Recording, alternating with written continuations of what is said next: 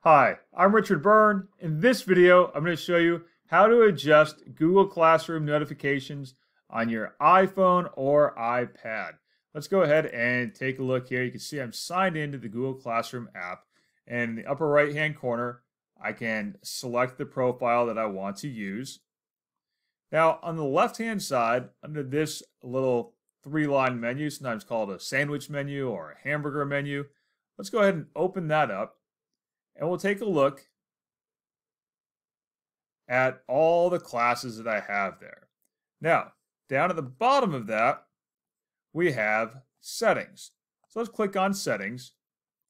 And here we can adjust the settings for the notifications. So let's select notifications. You can see here I can turn on or off my email notifications.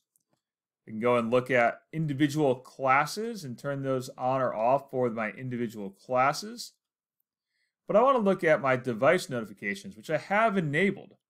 And in my device notifications, I can have comments on posts turned on or off. You can see there I can have notifications for comments that mention me, private comments on work. You can see down here for the classes that I teach, I can get notifications of whether or not a student has turned something in late or if something didn't post as it was supposed to. So that's how you can adjust the notifications for Google Classroom on your iPhone or iPad.